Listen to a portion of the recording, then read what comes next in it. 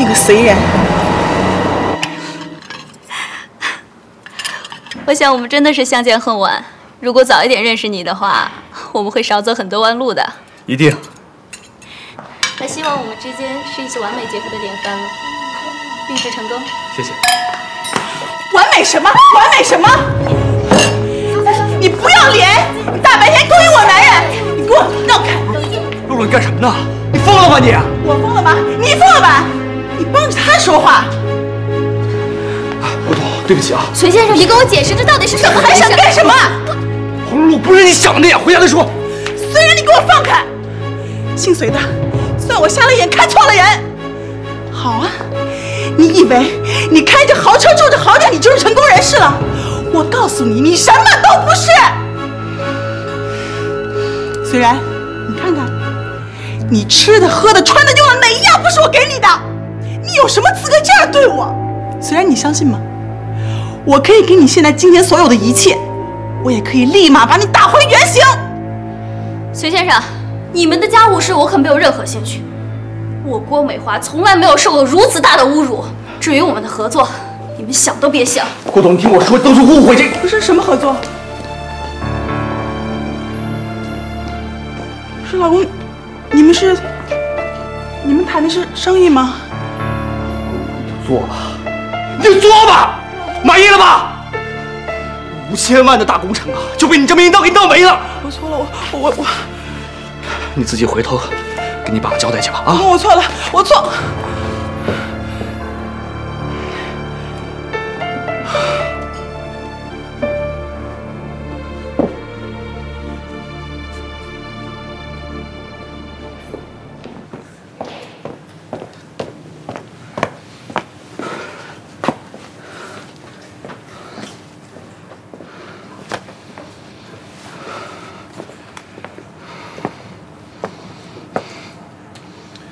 现在不想看见你，你，谢谢。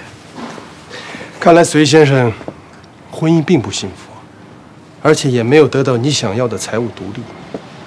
你谁啊你？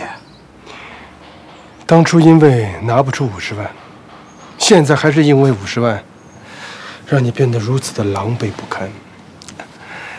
隋先生才华横溢，可惜了。你到底是谁？男人必须要有独立的财务，才能有独立的人格。我是一位贵人，我可以给你提供机会，让你赚到属于你的钱。想清楚，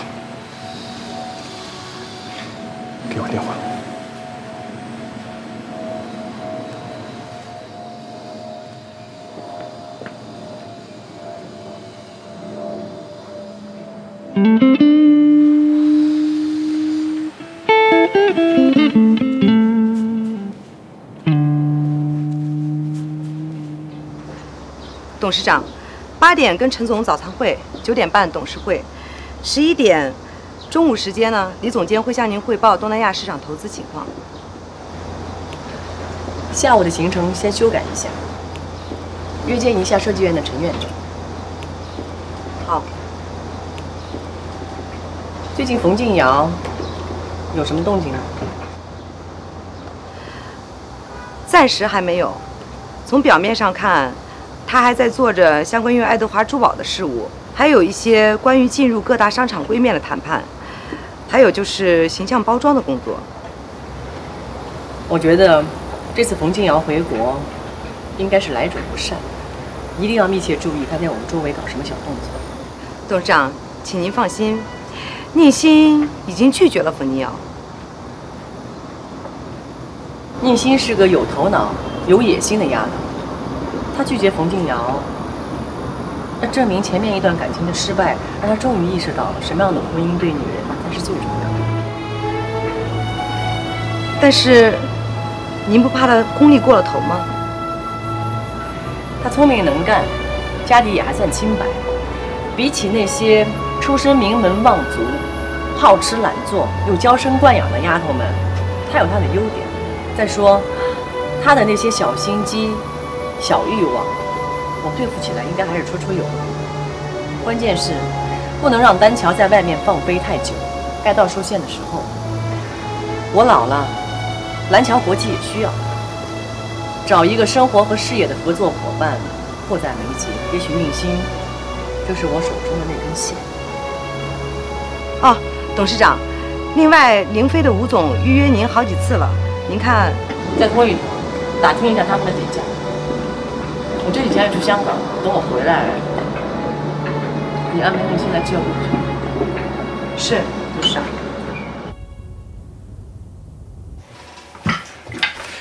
哟，好香啊啊！嗯，老婆，辛苦啊。小夏这孩子啊，平时别看他嘻嘻哈哈的，心事可重了，也懂事。为了减轻咱们家的负担啊，早早的他自己搬出去单住了。这些年我也没好好对他，趁这个机会啊，我就好好弥补弥补。哎要不是他父母啊在中考前出意外影响了他，凭小夏的能力啊，一定能考上重点高中，也不会为了考虑咱们家的经济情况而放弃高考。这些年确实是受了不少苦，都怪我这个当叔叔的没有能力呀、哎呀，都过去了，从今往后，我们好好对他就是了。啊，对了，今天晚上我也去陪夜，晚饭给你做好了，你自个儿吃。好，哎，要不我去送吧？小夏一个女孩儿，你个大老爷们儿去陪她算什么呢？多不方便。对对对，还是你考虑的周到。哎，一个伟大的贤妻良母。离远一点儿，假惺惺。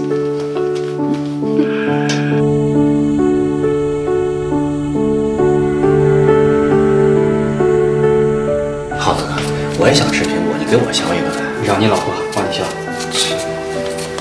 哎，说真的，我还挺羡慕你的，这么年轻就娶了个好媳妇儿啊。耗子哥，你光羡慕有什么用啊？心动不如行动啊！你赶紧找一个，你看我二姐多好啊！怎么又说到我了？别瞎说啊！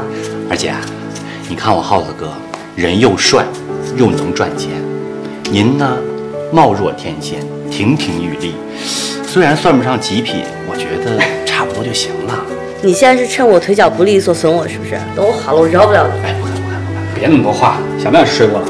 哎呀，耗子哥，我这替你说话呢，你得分清谁是自己人啊。我们家就我一孩子，从小到大就特别喜欢那种家里有兄弟姐妹的。说说，跟你大姐亲还是二姐亲？哎呀，耗子哥，我觉得你这问题特 low。你这好比问小朋友说跟你爸爸亲还是跟你妈妈亲。人大姐、二姐性格完全不一样。大姐呢成熟稳重，二姐呢年龄跟我一般大，既可爱又单纯。我觉得各有千秋，我都喜欢。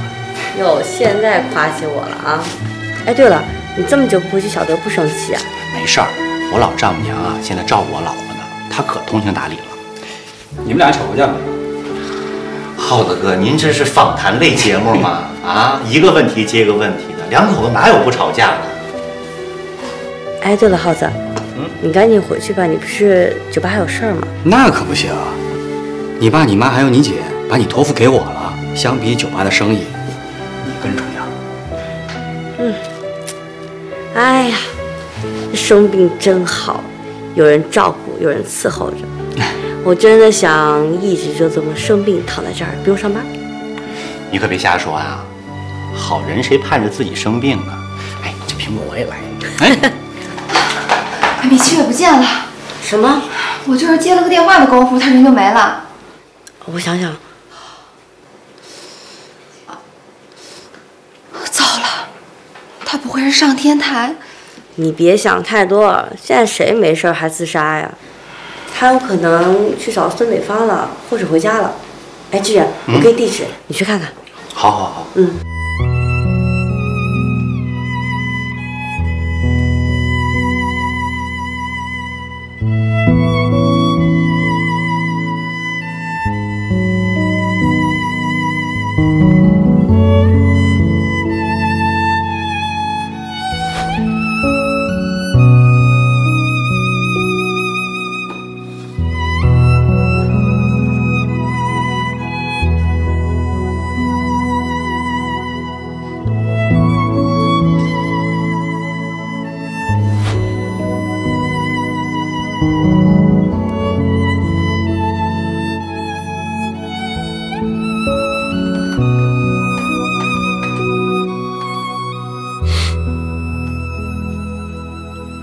听着，你跟 Steven 说一下，非常抱歉，我们的饭局改约在下周三，好吗？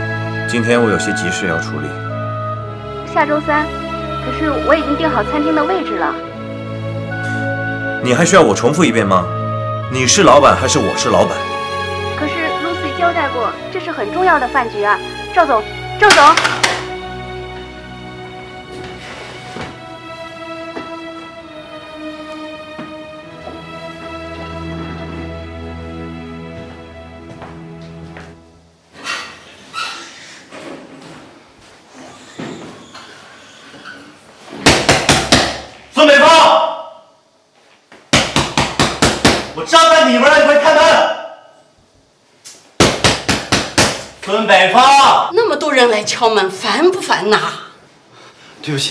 刚才吵到您了。我想问一下，这户人呢？没有人了，不用敲门了。您知道他们去哪儿了吗？这我哪知道啊？哦，前天晚上拎着个突人箱啊，大包小包的走了，搬走了。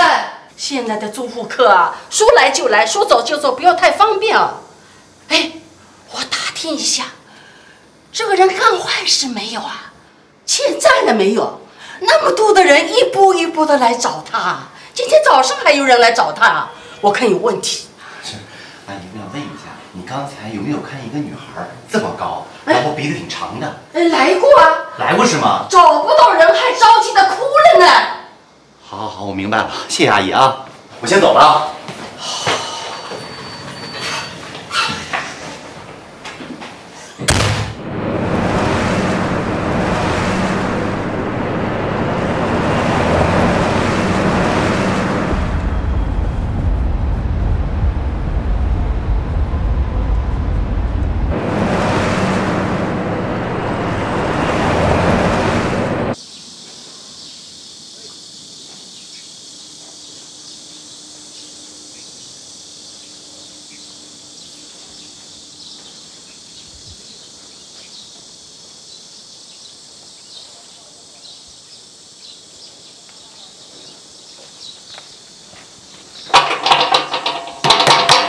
七月，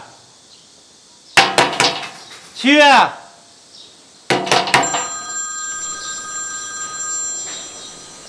哎，老婆，怎么了？好好好，我马上回去。嗯嗯嗯嗯。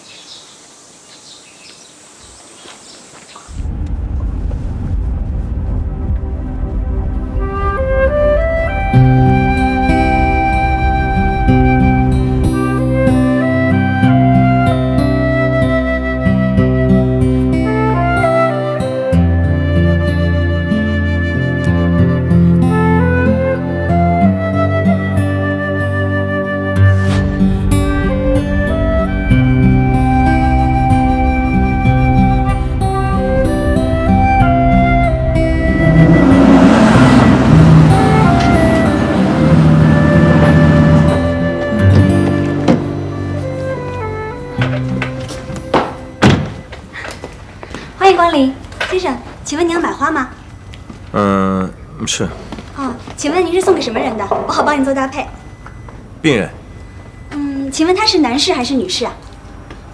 女士，哦，那请问他是年纪大的还是年轻的？你是卖花的还是查户口的？先生，您可冤枉我了。我问清楚一点呢，可以帮您更好的做搭配。你要是送给小姑娘康乃馨、剑兰之类的，那多不合适啊。送花还有这么多讲究啊？那当然了，一看先生你就不是经常买花。你要是送给年纪大的，我认为康乃馨比较合适。那，然后呢？什么然后呢？哎呀，先生，您就跟我直说吧，您到底送给谁？嗯，比方说您正在追一个女孩，然后她又生病了，那我认为百合最合适不过了。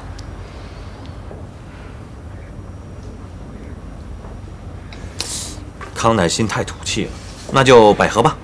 呃，我要一大束，一大束。好，先生，您稍等。嗯。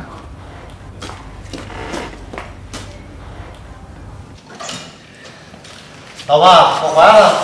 嗯，好了。哎，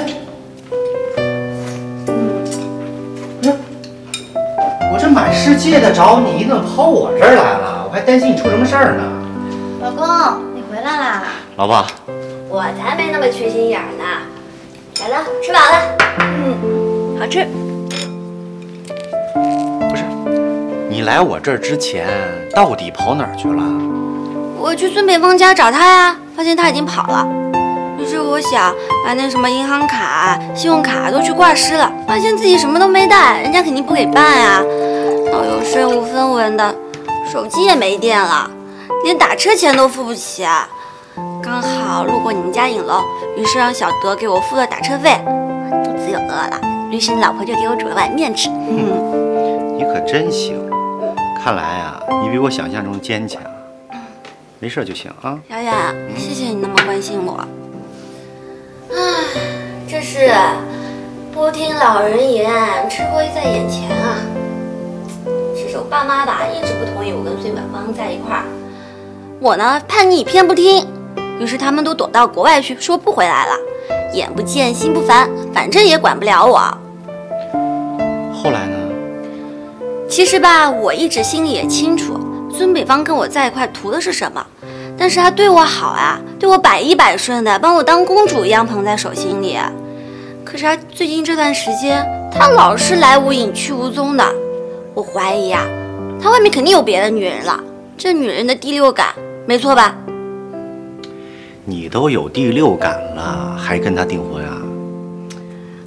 我想人总该有良心吧，养只小猫小狗也会有感情呀。于是我心存希望，想赌一把呗。可是，在订婚的时候，我们商量宾客名单，他说我爸妈不来，他也不叫他老家的爸妈来了，我就开始有点怀疑了。孙北方，对不起你，你也犯不上把邪火发我们身上吧？拐弯抹角、挑肥拣瘦的找茬。对不起啊，小远，我这段时间吃不好睡不好的，这心里啊老是很忐忑。那天收到他给我发的短信，我这心啊算是落了地了，这人也倒下了。米小姐，你把衣服先披一下。谢谢小德。那你之后有什么打算呀？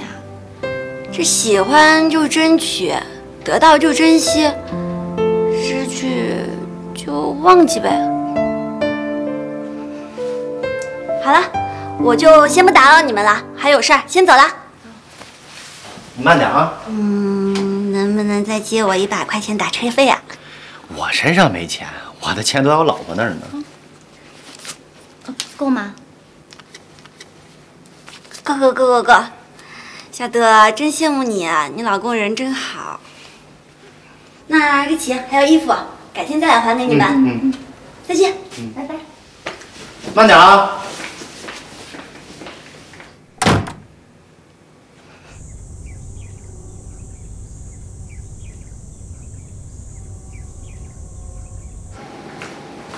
小夏，婶儿，哎呦，你来了。哎呦，躺着躺着，别动别动。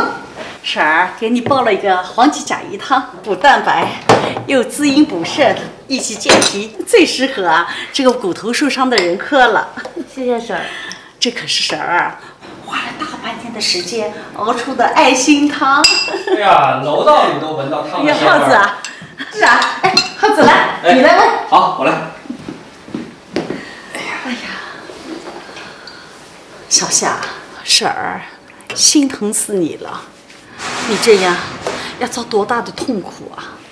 婶儿没事儿的，医生都说了，休养几天就能好。那你好好休息啊，别动。嗯嗯嗯。来吧。哇，好香啊！慢点。嗯，好好喝。多喝点啊。嗯。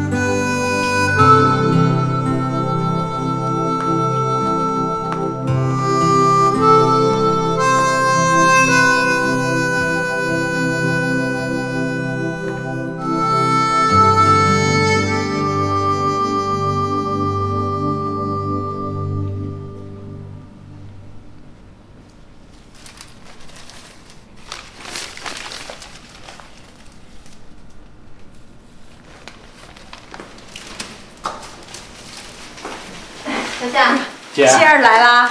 哇，姐这花真漂亮！哎呀，真不好意思让你破费。没事，心儿啊，我可是按你的吩咐开了一个煲汤的菜单。今天黄芪甲鱼汤，明天啊就是黑豆排骨汤，怎么样？妈最能干了。婶儿，你这也太讲究了吧！我要天天按照你这么吃，我我还不得变成个大胖子呀？哎，俗话说啊，三分治七分养，伤筋动骨啊要一百天。骨折患者啊，在康复的时候啊，饮食尤其重要，保证骨折患者顺利的愈合，关键是营养。小夏，你就听妈的，好好养伤，好吧？哎，耗子，你这这干什么啊？陪夜啊？怎么了？陪夜？你要在这过夜呀？这真孤男寡女共处一室多不合适呀！有什么不合适的？昨天晚上也是我陪你的。哎呀，不用麻烦了，我这不是还有护士吗？哎，你要回去的时候，把他们也带回家。我又不是重症病人，不用陪夜的。对对对，你们回去回去回去，我来陪。哎呀，婶儿不用啦。你们先走吧，我再多陪一会儿，一会儿回家。好，妈，那就听老妈的，走吧，耗子。小夏，走了。好，注意安全啊。那我先走了啊。嗯，来吃苹果。哇，谢谢婶儿。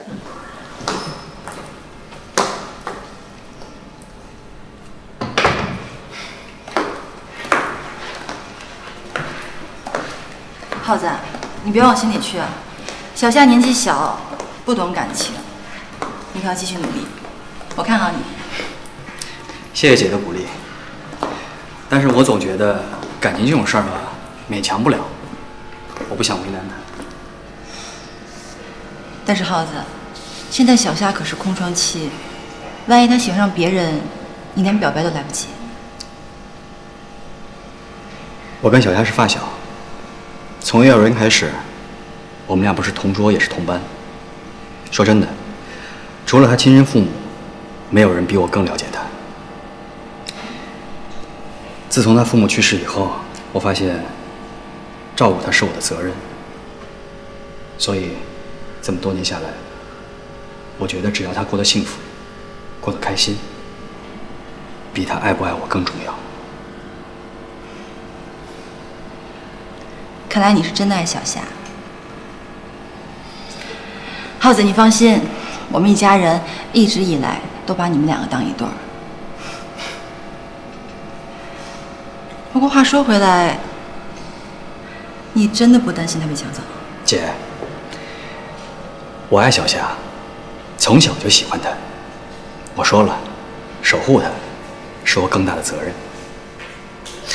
如果有一天她看走了眼，选择了别人，那个男人必须先过我这一关。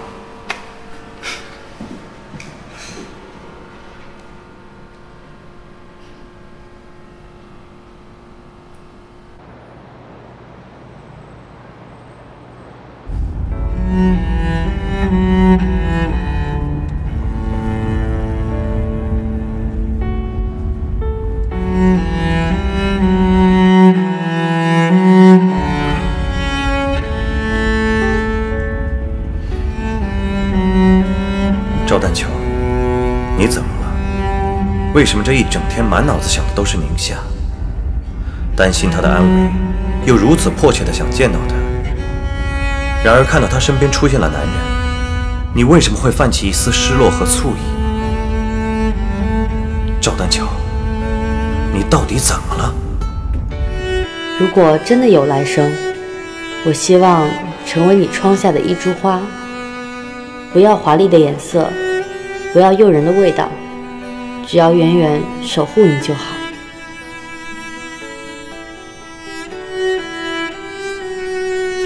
小夏，你怪婶儿不？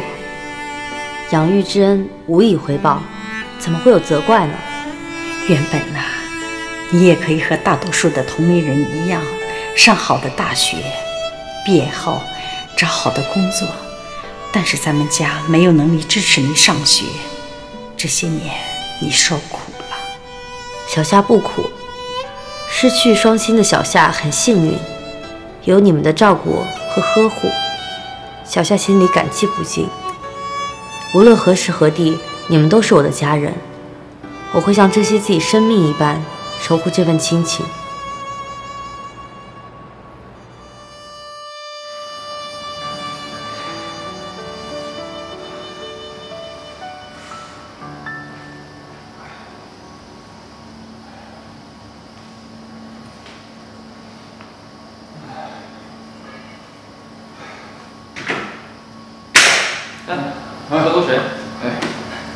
谢谢。发泄过剩的能量，并不能发泄内心的躁动。有什么要跟我说的吗？嗯。我的感觉很奇怪，我已经渐渐的忘掉了徐璐，她的样子越来越模糊。有些执念慢慢放下，未必不是一种解脱；有些事情慢慢遗忘，未必不是一种轻松。可是我有一种不安的感觉。人生就是这样，一个不断变化的过程。但是不管在任何时候，咱们都不应该放弃追求梦想、追求爱情和幸福。丹乔，你封闭在过去太久了，是时候该走出来了。只是现在我有很多怀疑，现在还不能够确认。真正的爱情永远是夹杂着怀疑的。不相信，是因为你还抱有希望，但又不敢确认。看来我们赵大公子春心萌动了啊！是什么样的女子能融化你心头的坚冰？是美貌动人的宁心小姐吗？那个洪小豆，不一直是你的精神支柱吗？是洪小豆，确实一直是我的精神支柱。现实中的她与我的期待渐行渐远。既然不是宁心，哎，那会是谁呢？他其实很平凡，也没有什么特别之处，但是他很热情。那就走向前去啊！你还在犹豫什么？没那么简单，不知道对方有什么想法。如果冒失闯入的话，一旦有什么偏差，我会很难堪的。在爱情当中还谈什么自尊？那只能说明一点：你最爱的还是你自己。不，并不是这样的。我只是害怕失去他，害怕失去他，我真的是越加的好奇了。哎，一向自命不凡的赵大公子，居然也会有胆怯和不自信的时候。哎，他到底对你施了什么样的魔法？快告诉我。你见过他的，在酒吧，宁夏。他似乎更靠近我心里的那个红小豆，那是一种说不出来的心理感应。啊，那才是我想要的。是时候我该出手了。我一定要找出你内心真正想要的是什么。你当然是我。你别忘了，我是你的心理医生，我要帮助你从阴影中走出来，重建新的生活，这是我的终极目标。呃，我给你制定一个恋爱疗法。恋爱疗法？我要去说服宁夏。让他参与到我这个医疗计划当中来啊！当然是以扮演角色为理由，就是让他去扮演你的恋人，让你进入到一个恋爱的模式当中去。啊，当然，不管最终这个结果是什么样，哪怕就是你们走到了一起，或者是重新回到了原点，都不会显得尴尬。毕竟只是个医疗计划。这个，我看行，就看我的吧啊！哪天啊，你去看宁夏的时候，你告诉我一声，我陪你一块儿去。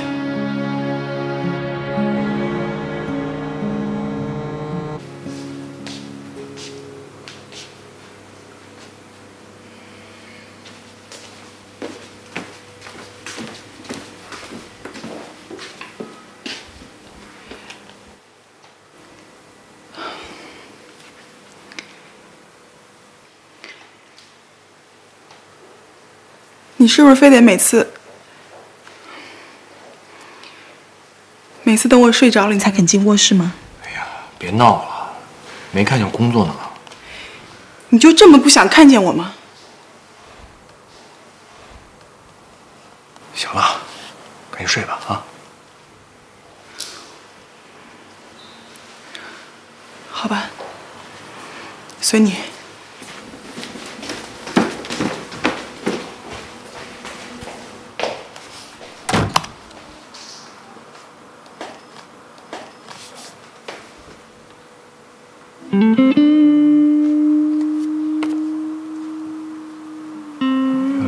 这冯静瑶跟蓝桥国际有瓜葛啊？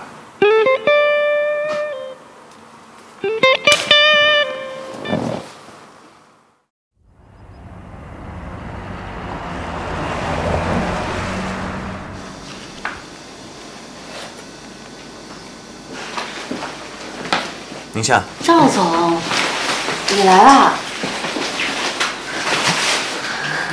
你好，好点没有？哎呀托赵总的福，我已经好多了。嗯这位是我的好朋友杨柳。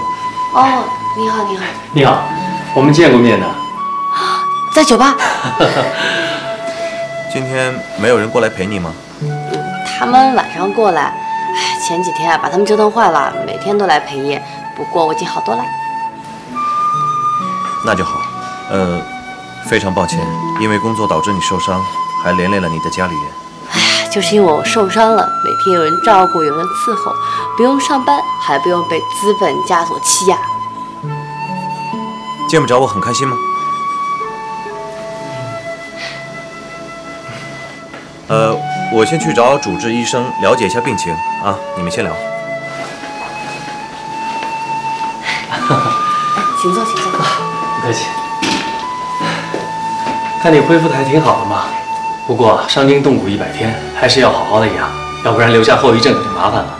哎呀，我这么强壮，什么事都击垮不了我。说得好，要战胜疾病啊，首先要战胜自己，对自己一定要有信心。有道理。宁夏小姐，你知道今天我为什么要来见你吗？我除了是赵丹桥的好朋友之外，我还有另外一个重要的身份，我是他的心理医生。心理医生？那赵总他……是的，他一直在我那儿接受心理辅导的治疗。啊接受治疗？那严重吗？前几年比较严重，几乎不与外界任何沟通，每天除了工作就是工作。他封闭、冷漠、孤独，对生活没有任何期待，更别说激情了。怎么会这样啊？这说来就话长了。从小他父母离异，那时候他的家境并不好，所以他母亲呢，没日没夜的在外面打拼，从一家小小的饭店打拼到今天的蓝桥国际。应该说，赵丹桥的童年生活是在一个没有家长陪伴的环境中长大的。成年之后，他遇到了一个女孩，那也就是他的初恋。可是由于他母亲的反对，他俩远走高飞，去了国外。他们本想在国外生根、开花、结果，可是好景不长，一场意外，他女朋友遭遇了车祸而离世了。为此，丹桥非常的自责，也因为这样，他和他母亲的关系也越发的对立了。天哪，也太可怜了吧！啊，我只知道他爸爸离家出走的事情，其实他也都不太清楚。那那后来呢？后来，他就这么孤独的生活着，直到有一天，他遇到了一位女网友，他们在虚拟的网络世界里面构建了一个虚幻的童话世界，互诉心声，互相依赖。丹强那时的生活就像照进了一缕阳光，慢慢的融化了他心头的冰封，病情也好转了很多，甚至比我这个心理医生治疗的更有疗效。但这个网友有那么重要吗？真的很重要。后来，他们俩相见了，可是事与愿违。现实中的女网友虽然美丽动人，可是与丹桥心目中想象的那个网友相差甚远。虚拟与现实的落差给他造成了很大的困扰，也让他失去了对现实生活判断的自信。那有这么严重吗？我现在非常担心他，他的心理疾病还没有彻底的根治，而我作为他的心理医生，暂时也没有找到更好的办法。我我能做些什么呀？这就是我今天来见你的最大目的。我想让他重温爱情的味道，暖化他的心，让他彻底的从心理阴影中走出来。爱情的味道。宁夏小姐，你愿意加入到我的医疗计划当中来吗？医疗计划。我想创造一个恋爱的环境，让丹乔重温谈恋爱的感觉，激起他重新爱人的一种激情，让他彻底的忘却之前的故事，这样他才能恢复正常人的生活。那那我能做些什么呢？和他谈一场恋爱。什么？你别紧张，我的意思是说，你和他假扮成恋人，谈一场恋爱。假假假扮恋人啊，这个医疗计划呢，我和丹桥谈过了，他也愿意接受。那为什么要选我呀？有那么多更合适的女孩子。我要保护病患的隐私，所以我只能从他身边熟悉的和他信赖的人当中去找。你和丹桥一起工作，你对他很了解，而且他对你又十分的信任。宁夏小姐。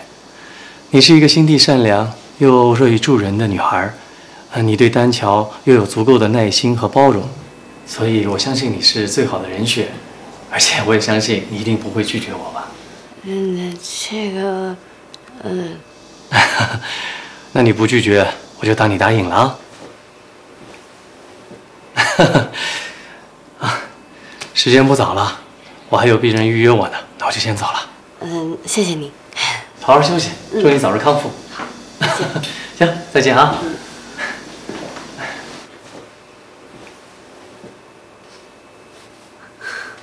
医疗计划，假装恋爱。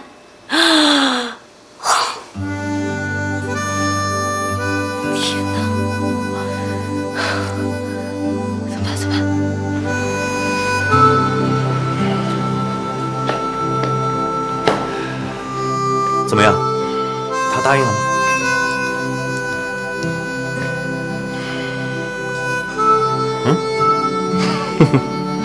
我杨柳亲自出马，还有办不成的事儿吗？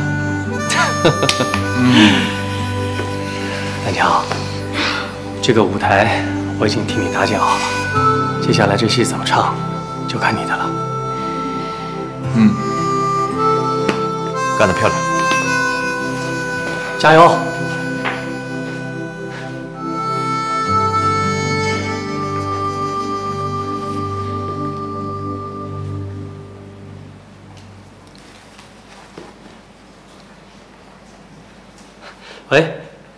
宁小姐吗？我是杨柳，呃，我想下午约你喝个茶，有时间吗？好啊，地址发给我吧。好嘞，那下午见。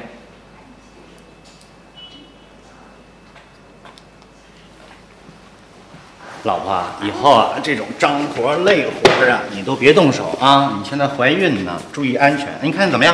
我知道啦。老公，嗯，你真体贴，送你香吻一个。嗯嘛，没亲着，这边嗯嘛，还是没亲着。我亲到了。没亲着。小远，还有人来。哎，去李小姐，嗯，你怎么又来了？请坐吧。好。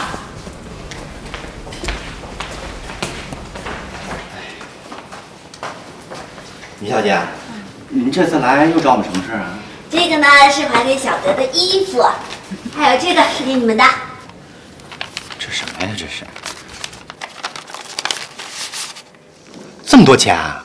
哎，这个是上次你们借给我的打车钱，还有摄影师的费用。那也不用这么多呀。我们上次只借你一百块钱，我们就拿回一百块钱，剩下的我们真不能要。为什么呀？这是我额外给你们的摄影费。摄影师的钱上一次带你来那个公司已经给过了，哎呀，他们归他们的，这是我额外给你们的小费。这个钱啊，我们真不能要。米小姐，你的心意呢，我们都领了，但是这个钱啊，您收着吧，我们真的不能要。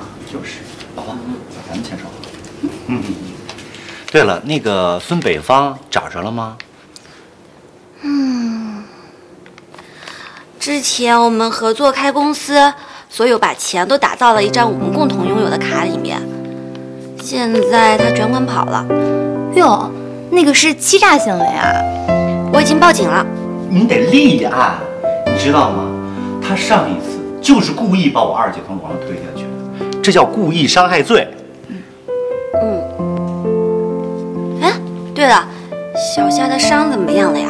啊，已经好多了。我们俩刚煲了汤，正准备去看他呢。嗯，哎，要不然我跟你们一块去看看他吧？不用不用不用，你忙你的就行。啊，我不忙，刚好我开车了，我可以送你们啊。行啊行，那咱们一块去吧。好，走。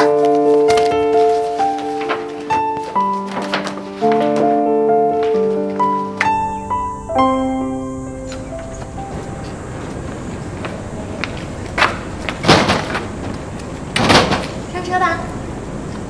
哇塞，这是你的车啊，真好看哎。上车吧。嗯，这颜色真漂亮。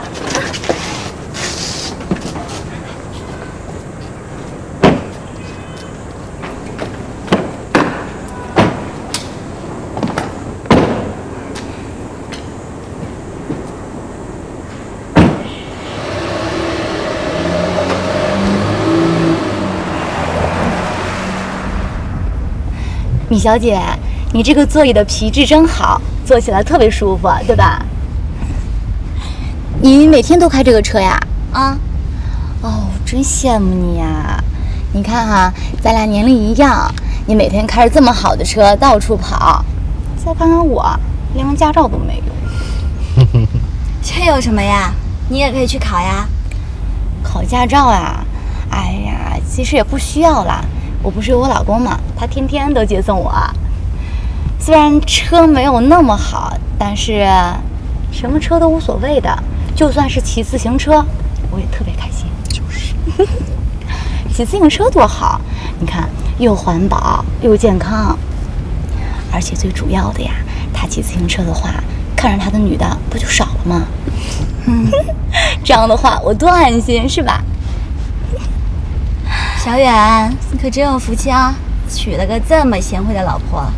是吧？我娶了我老婆之后啊，现在睡觉都偷着笑。油嘴滑舌的。原来你们这么秀恩爱的啊！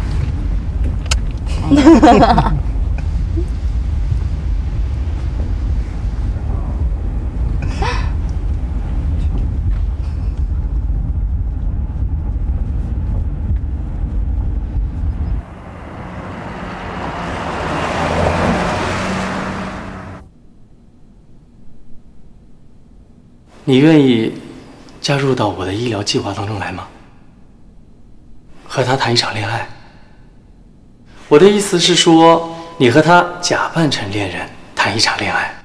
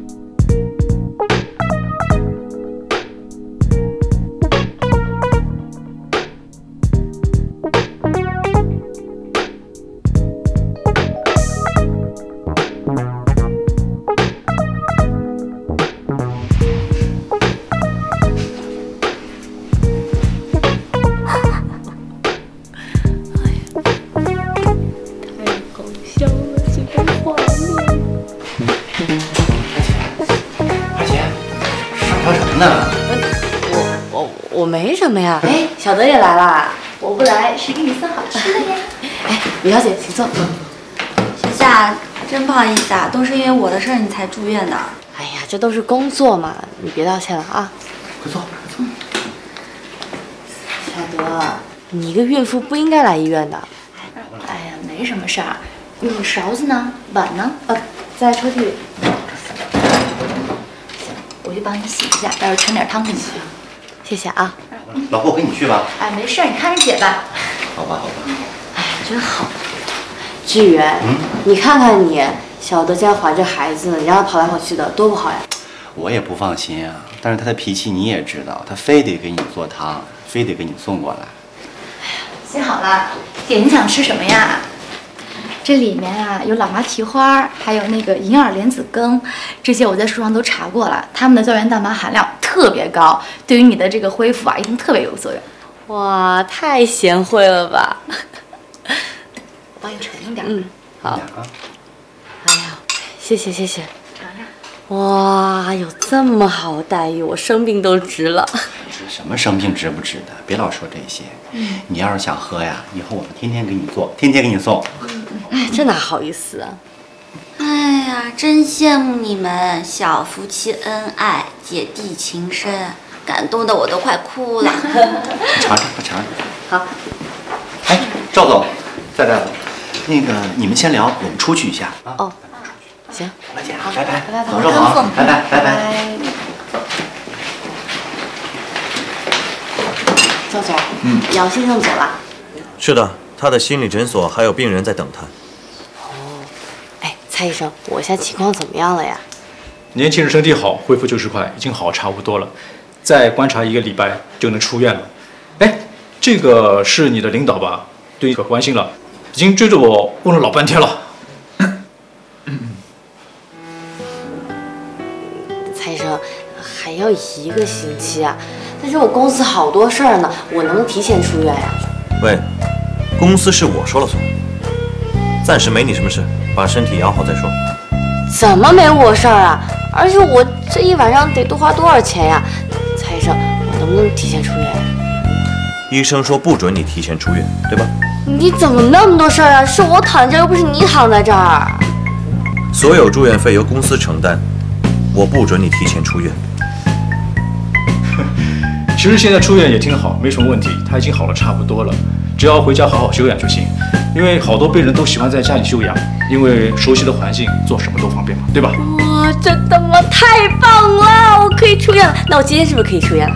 今天，呃，嗯，但是我给你的建议是再观察观察。如果你今天一定要回家的话，你得给我保证，必须在回家这几天里面给我好生静养。哎我保证。我在这儿待着太无聊了，而且每天他们都来看我，我也觉得挺不好意思的。如果你非要出院的话，我送你回家。哎呀，没事没事，让志远送就行了。你忘了答应杨柳的医疗计划吗？不管怎么样，我一定要送你回去。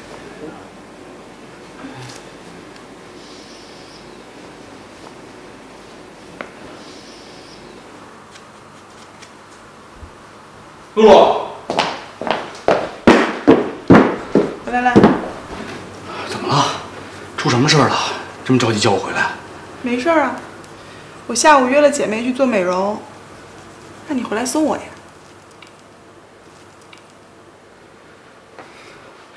王露露，我又不是你司机。再说了，我也是公司总裁助理吧？公司那么多的事儿呢。你凶什么呀？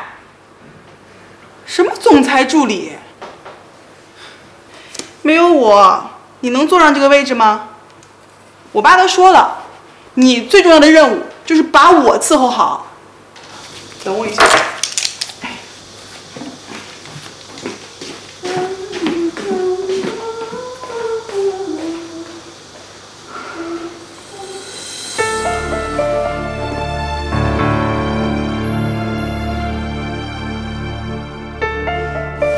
虽然，你看看，你吃的、喝的、穿的、用的每一样不是我给你的？你有什么资格这样对我？虽然你相信吗？我可以给你现在今天所有的一切，我也可以立马把你打回原形。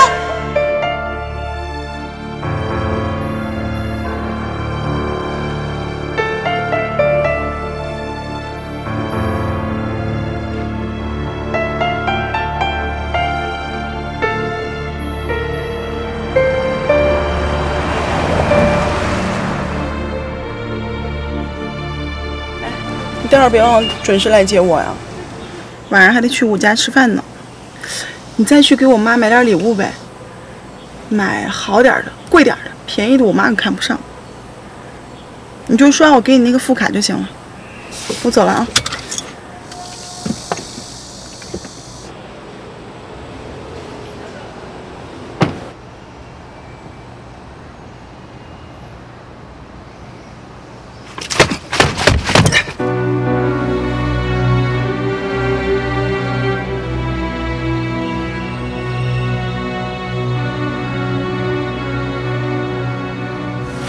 个白富美，不要说少奋斗十年，我觉得你根本就不用奋斗。不过你仔细想想，把自尊踩在脚下的日子也不会好过？除了你和王露露的结婚证上写的是你的名字，房子、车子、钱，哪一样是你的名字？男人必须要有独立的财务，才能有独立的人格。我是一位贵人，我可以给你提供机会，让你赚到属于你的钱。想清楚，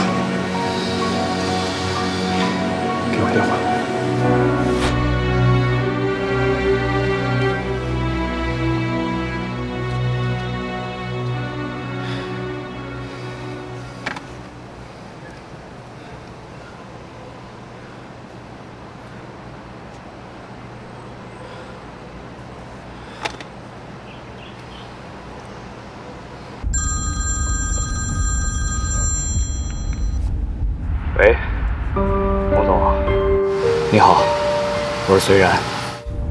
隋先生，我终于等到你电话了。我想跟你见一面。周一下午到我公司。好，明天见。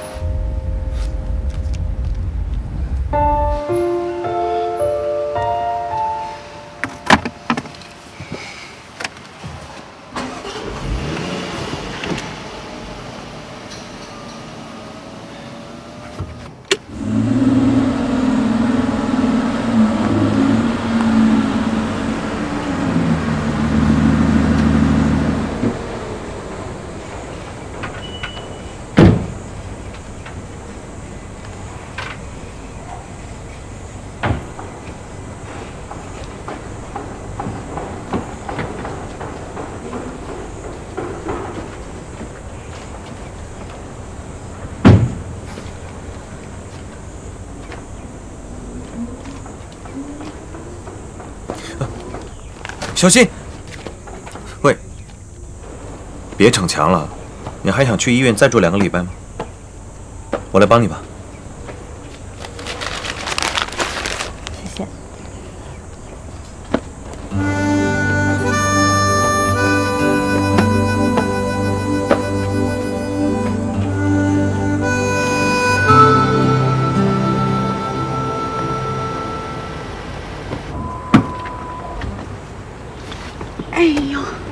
西买了吗？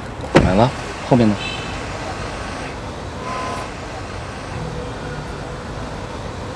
这些。嗯。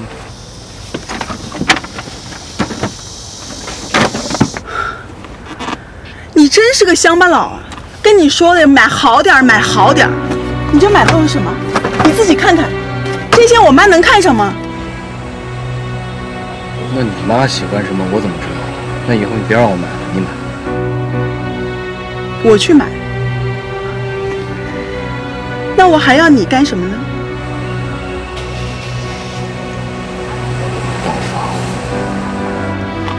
你说我好啊？暴发户怎么了？还不是一样有穷鬼摇着尾巴巴结上来，能够做我王露露的跟班跟司机，已经很看得起你。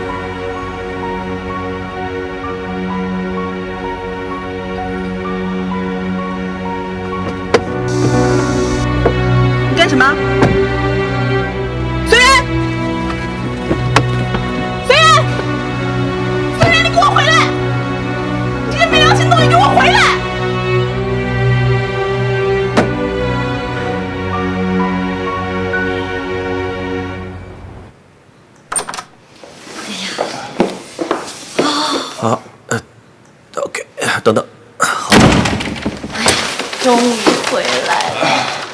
哦，你怎么这么沉啊？我怎么会胖啊？我在医院都瘦了十斤呢。哼，每天有那么多人给你喂食，你居然还能瘦下来？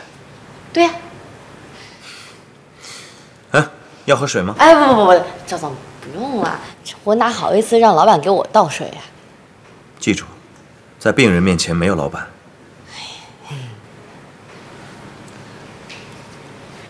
嗯，嗯，我参观参观。赵总，啊，你别过去，别过去，你要干嘛呀？我就是参观一下。别去了吧，赵总。嗯，有什么见不得人的东西？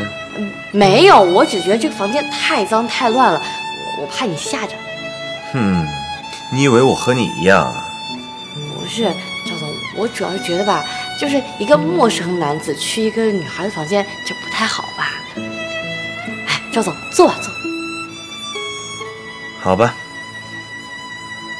嗯，实施医疗计划的话，作为恋人，我们要加深了解，包括彼此的生活。但是我们是假恋爱，是的，不过，即便是假扮的，功课还是要认真做。我们要认真的拟定一下谈恋爱的程序内容。你谈过恋爱吗？赵总，这是我个人隐私，你不能打探的。好的，我们得事先约法三章。在我们假扮恋人的过程中，我们都不许有其他的恋人。如果有了，就必须第一时间通知对方，计划就必须终止。哎，行，反正我也没有什么情人。哎呀，怎么这么傻呀？参加你这什么奇奇怪怪的医疗计划？嗯，你可不能有这种负面的情绪，不然会影响我的心情，影响我康复治疗。行。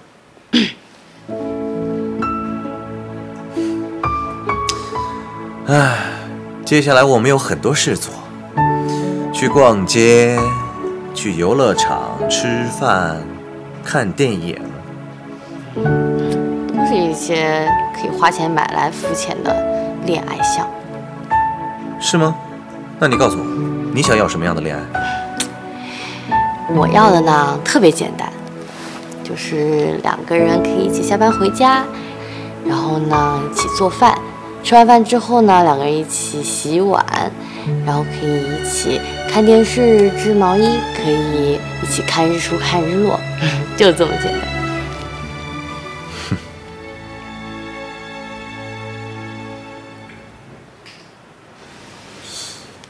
原来，你还有收集猴娃娃的爱好。因为我属猴嘛，这是我爸妈送我的生日礼物，一直到十四岁。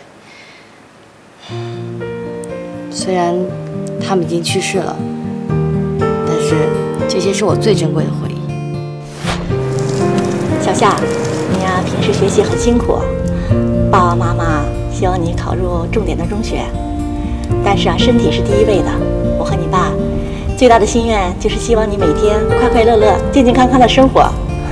是啊，我们要劳逸结合。这次模考啊，你考得不错，爸爸问同事去借了辆车，带你到郊外去透透气，放松放松。我们全家也难得到外面去旅游一次。是啊，嗯，谢谢爸妈。乖女儿。小夏，饿了吧？有点饿了。爸爸带你去找 好吃的。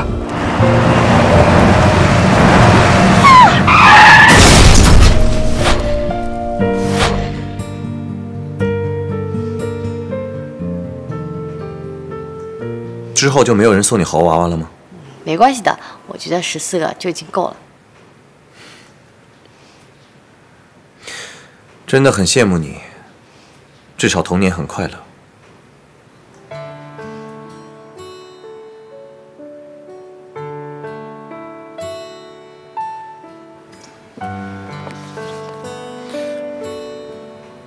少年维特之烦恼，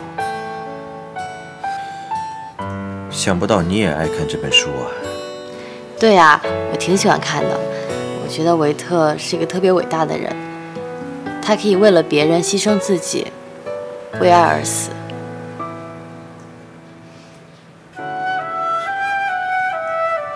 可怜的维特，他用一曲死亡的葬歌，成全了所有人的解脱。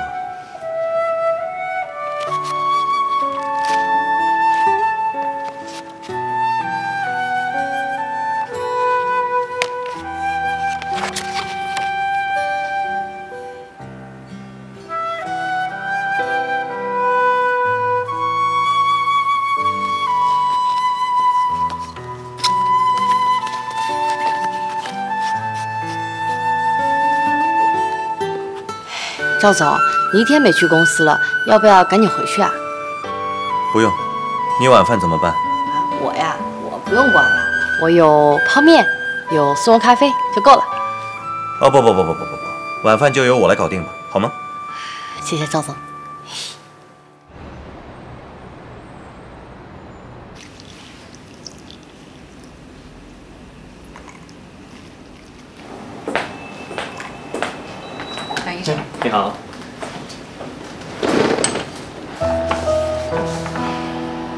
梁医生真是风雅的人啊，喝茶都能找到这么僻静的地方。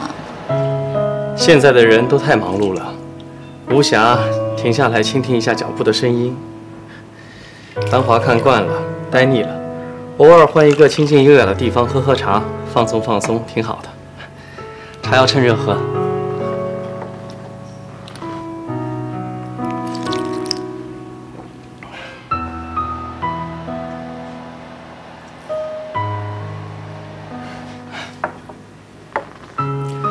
宁小姐平时爱喝茶吗？偶尔，不是很讲究。有时候啊，多一种仪式感挺好的。毕竟茶文化源于中国，也算是表示对茶的一种尊重吧。说起来挺奇怪的，你和丹乔两个人性格完全不同，但是你们又很投缘。这就是所谓的性格互补。那就是说，性格互补的人才比较适合在一起。杨医生，以你专业的眼光帮我看看，什么样的人性格才算跟我互补啊？宁小姐，那我问你一个问题：如果撇开金钱和地位，你喜欢什么类型的男人？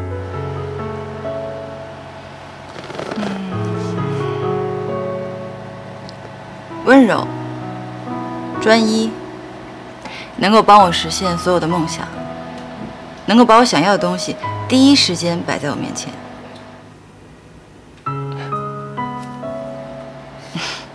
我是不是太贪婪了？好像丹乔不是这种类型的男人。为什么这么说？你了解丹乔吗？不知道算不算了解？杨医生，你跟丹乔认识这么多年，肯定很了解他。不知道从你这里，我可不可以多知道一些他的消息啊？每个人看待事物的角度不同，所以评价也会不一样。如果你真的很想了解一个人，那就用自己的心去真正的了解他。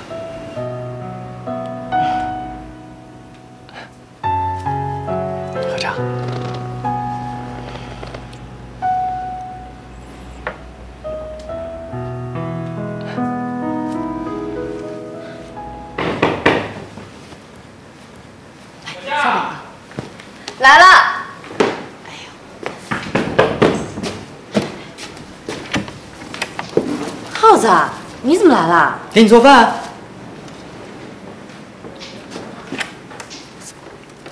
又是你，你阴魂不散呐？干嘛呀？宁夏因为工作而受伤了，我作为老板有义务来看他。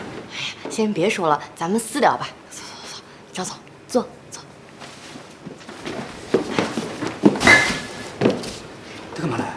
他他接我出院呢，他是我老板。他把你害成这样了，别跟他有来往了。你看你说的，根本就不是这样的人。行了，别说了。你买了什么菜？有你最爱吃的鱼，给你做鱼汤，还有最新鲜的蔬菜。哇，太棒了！我先给你做。哎，你要帮我做饭啊？啊？不用了，我自己做就行了。真的不用，你不是还得忙吗？赶紧回去吧。好啦，快回去啦，放心啊。